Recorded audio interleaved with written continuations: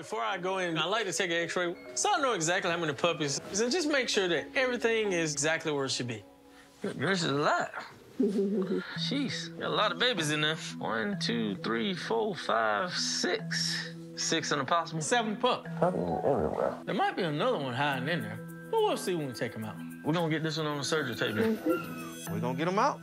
Typically, French Bulldogs have two to four puppies, but when I look on this x-ray and see six with a possible seven, this is definitely a rare occurrence. We've been delivering a lot of Frenchies lately. Critter deliverers. That's how we do. With Fendi having so many pups, it's definitely an all hands on deck situation because we're gonna need people to stimulate and help resuscitate these puppies. How many we got? Six. Oh, a little bit different. We ready over here? Yeah, time to make Fendi a mama. How mama doing, Polly? She is doing good. Only my initial incision.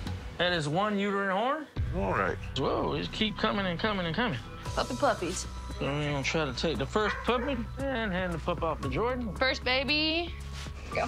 Come on, baby. And second pup coming. They have just a bunch of mucus. Mm-hmm. We have to suction out their nose and their mouth and help them breathe on their own.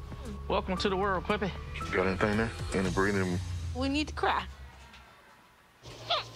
Uh, that's like a One is crying. We just got the second one. Puppy number three coming your way. You're doing good, buddy. This is puppy number four. As I'm pulling these puppies out, they have quite a bit of fluid draining from their nose. It's fine. The babies haven't used their lungs to breathe before, but now that they're outside, we need to remove this fluid so the lungs can expand so they can start breathing on their own. Last puppy is coming out. So is this six or seven? There's seven total. My possible would have been right. See what's going on out there? Um, we got a few going. A couple of them ain't doing too good right now.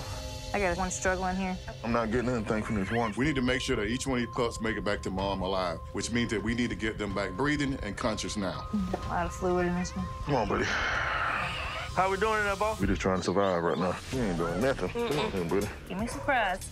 You need oxygen for that one? Come on.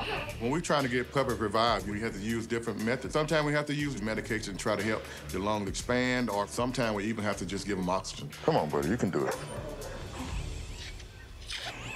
Come on. Making noise now. You coming around? All right. Keep it going. I heard you.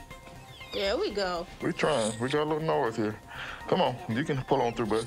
All right. So, yeah, I think we got some. You know they've been in there? All right. All right. What we got? Gasping, but not really getting much. Hmm? Come on. You can do it. Come on. Come on. All right. Trying here.